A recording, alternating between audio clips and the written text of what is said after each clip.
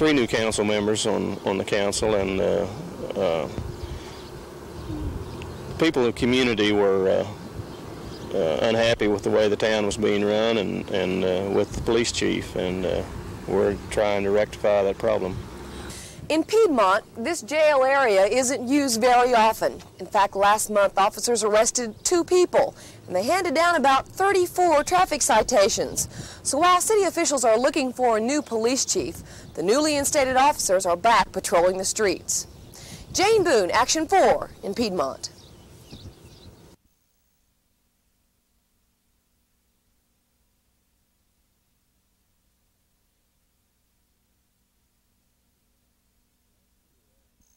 A viewer asks, the last paycheck I received from my employer, which was a nonprofit private corporation, was returned to me marked insufficient funds.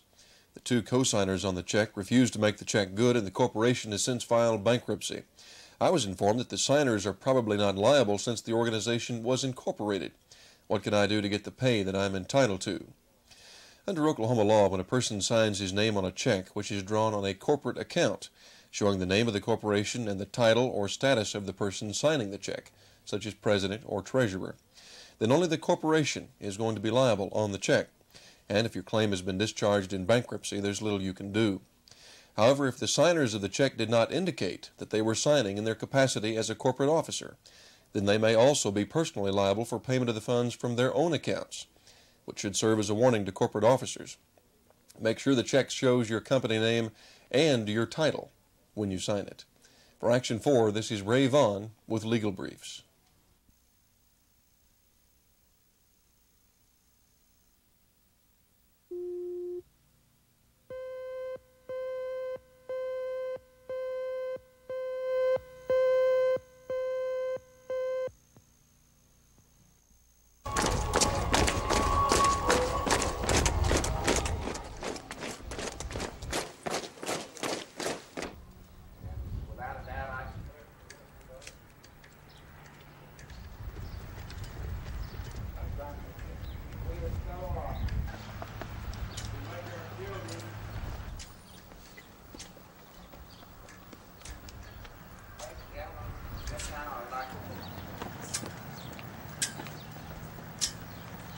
Hurry!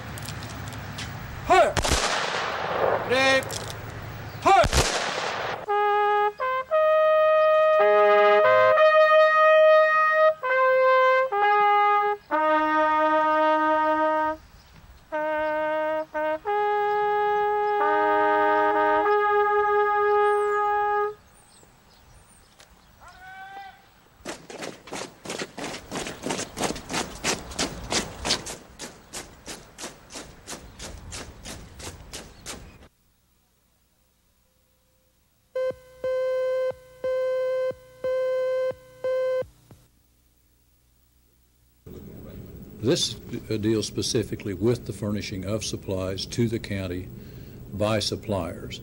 It's not an investigation of the county commissioners or county officers. Uh, We're merely checking to make sure, to ascertain whether the county received the supplies that they paid for.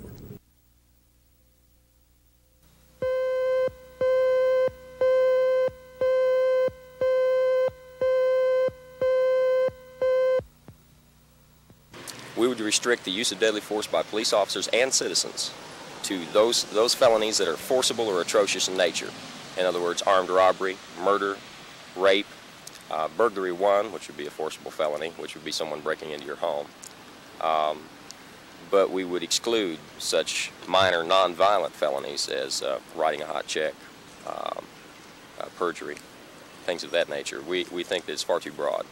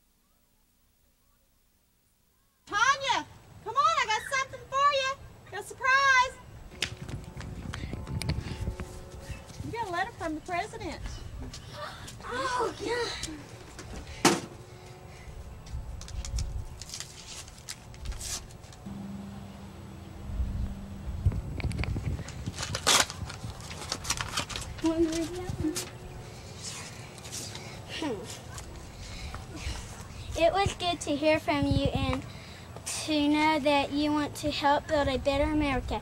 If we all share in the work to be done, we will share too. And a feeling of self worth and pride in our country. With best wishes, Ronald Reagan. When did you send it to her? Um, I think in April. April. When was it? When I when he got shot. Is that part of the reason why you sent the letter to him? Mm-hmm.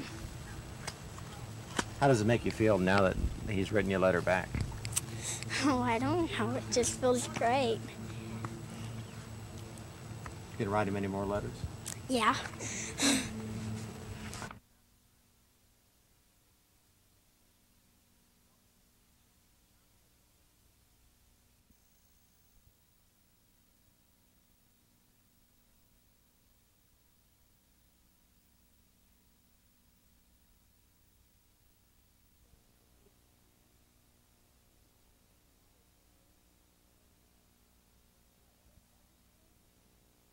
Which attempt to verbalize the concept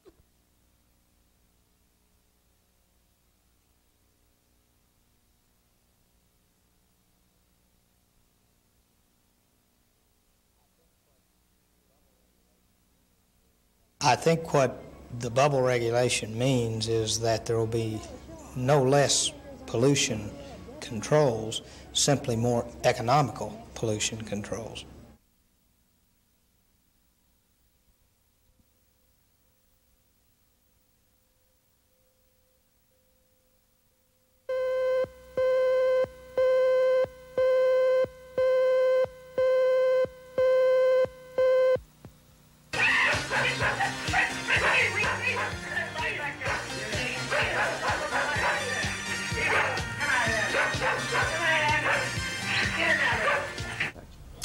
Cute. He called me from a telephone booth. I started a petition, which is friends and co-workers and, and people that I contacted, and I did it in about a couple of days. And how many signatures did you get? Around 150. Was it hard collecting them? No, no. I did have some that, you know, didn't want to sign it, but very few.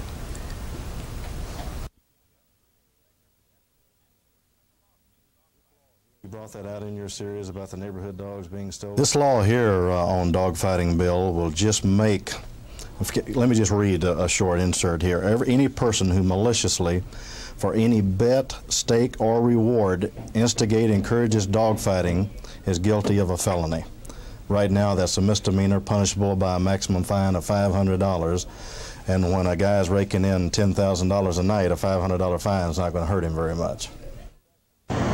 The legislature is in the dead bill portion of this session, so Osborne's bill won't be considered until next January. By then, he may have some valuable allies.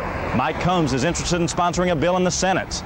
Governor Nigh's office says the governor is very concerned about organized dogfighting. So concerned that his mini cabinet is going to meet to discuss the matter.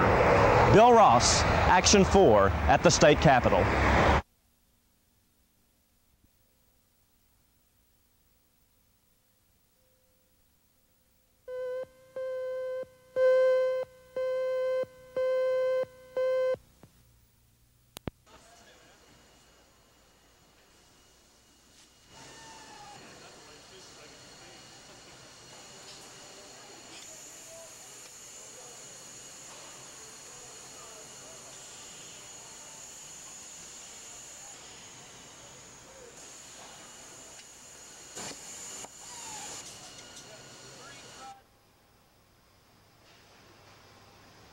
We do investigate the promoters of these schemes, and then, of course, we will follow up if it is judged that it is a fraudulent situation. And the government has conditioned us through IRS intimidation, IRS fright, through uh, constant publication. The IRS will get you if you don't pay your taxes.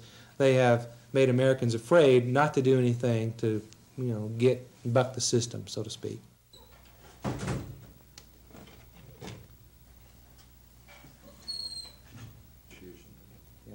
Here's the president of Liberty Ministries International. These ministries can, uh, but this list here shows us that The, these are. Uh,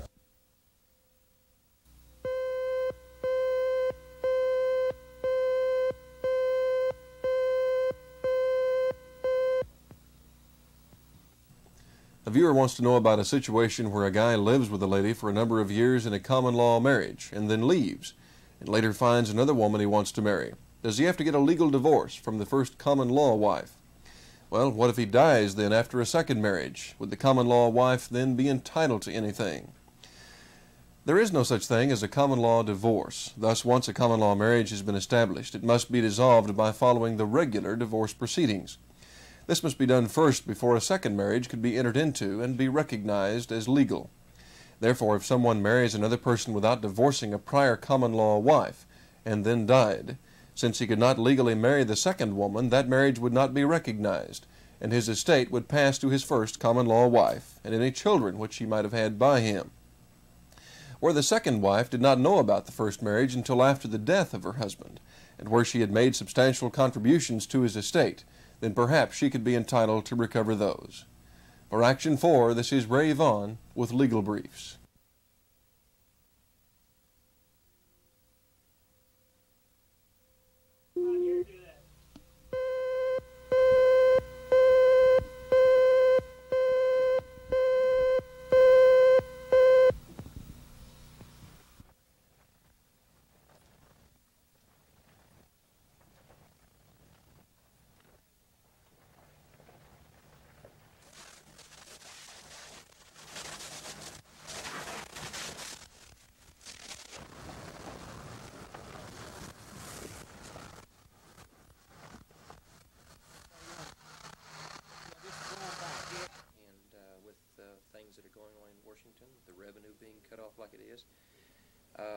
I think there's areas that could be uh, in city government needs to be streamlined, like uh, Reagan is doing with the federal government. But I don't think it needs to be in the hands of your police and fire protection for your city. But it's going to be an ever-ending problem. What's the address?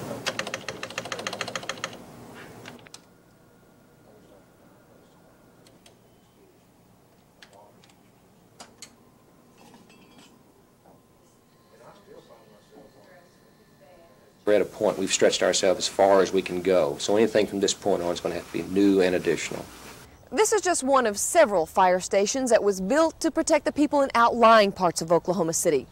Chief Hollander says that as Oklahoma City grows, it will be important that his successor make sure the fire protection grows with it. Jane Boone, Action 4 in Northwest Oklahoma City.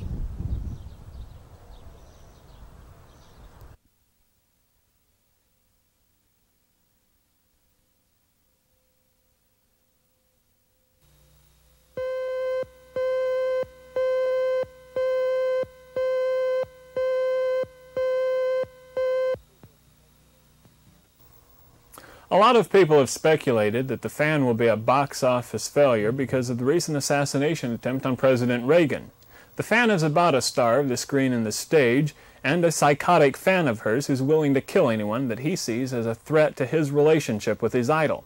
Well, John Hinckley is said to have read The Fan when it came out as a book over three years ago, and after he shot the president, he said that he did so because he had made disparaging remarks about Jodie Foster. The possibilities are a little shocking, and frankly a little frightening. But I think the movie The Fan ought to be taken on its own merits rather than on a sad incident that some people are relating to it. Lauren Bacall plays Sally Ross. Michael Biehn plays her fan. You interrupted a very wonderful evening. Right now I'm having dinner with a very famous actress, a great star of stage and screen.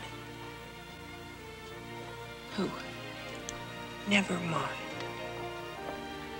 Look, Doug, it was one thing when we were kids to, to dress up and collect stuff and, and pretend. But when you grow up, you gotta face the world like.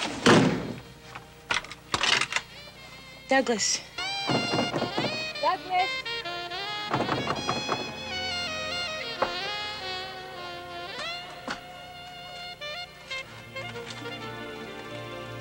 Here's to us, Sally, darling.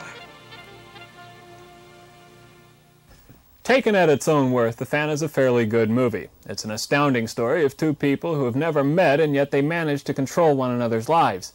There are perhaps a few inappropriate terror tactics that the movie is a little too intellectual for, and there's a little more blood than what I would have chosen.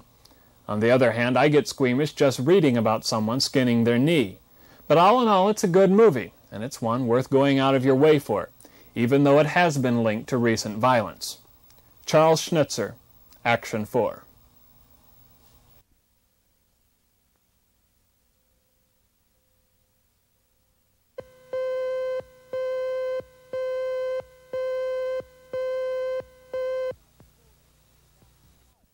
If on the third round, suppose ODOC starts on top by 38 votes, or by 18 votes, or by 20 votes, would I, would I also call for a legalized election? Absolutely, if there were still un, unregistered voters. My argument in this situation is not with Mr. Long. My argument is with the legislature and the teachers' union who bitterly refused to make it right.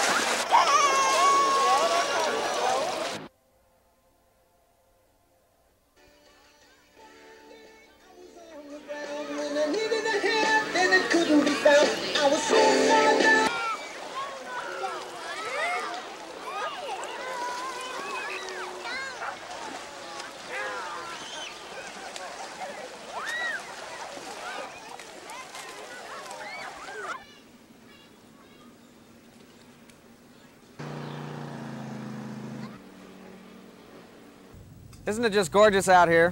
I can hardly wait for the 4th of July. Ted Brown, Action 4 at Lake Thunderbird.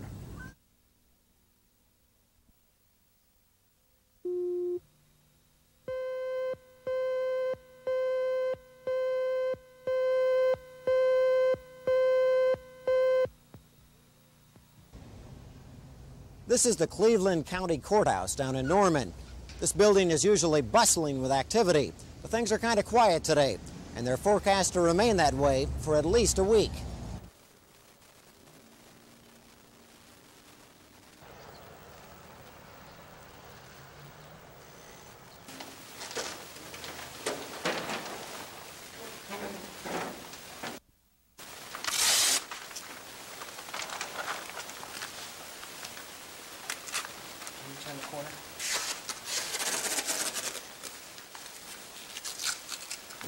Okay, comes back clear.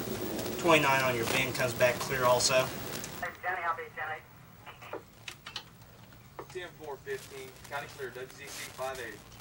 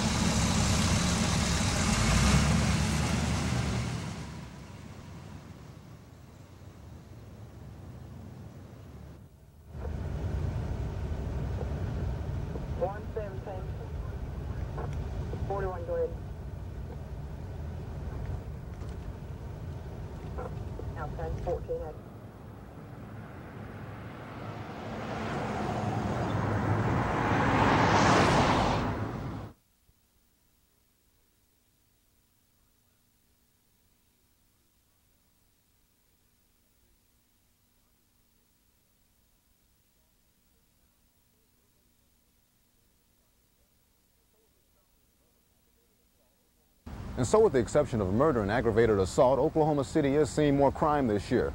Now for a look at the crime situation in rural areas of Oklahoma, here's Action 4's Ted Brown.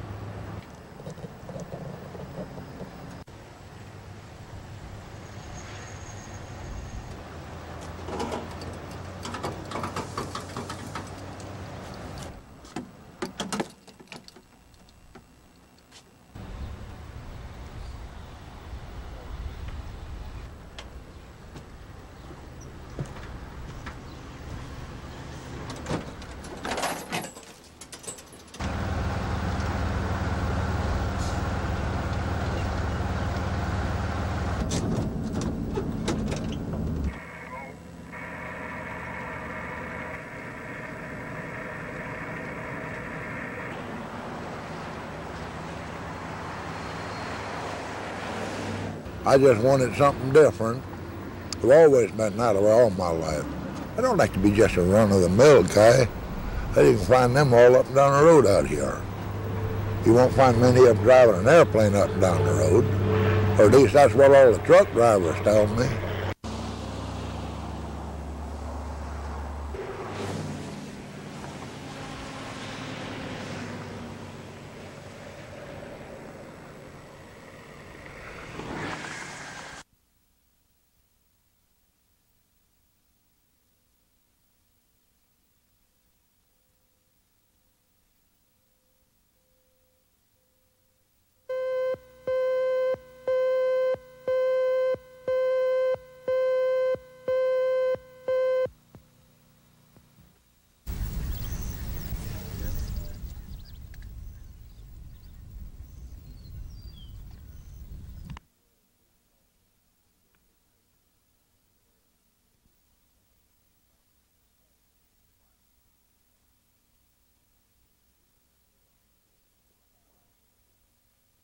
Okay. Hold right there! Hold right, hold right there! Get out here! Get there! Anyone else here? Anyone else here? Hurry up! Is that too far over? No, you're fine. Ah, nobody's here, but I found the gun. One in with blood splatter away, let's go! Okay. No.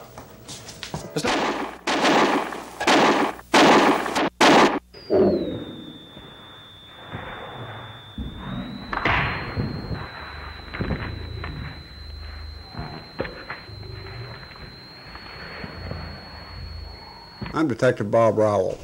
If you have any information about this murder, call Crime Stoppers. If your information leads to the arrest of the person or persons responsible for this murder, Crime Stoppers will pay a reward of up to $1,000. Crime Stoppers also pays cash rewards for information about other serious crimes, and all callers do remain anonymous. The number to call with information is 235 7300.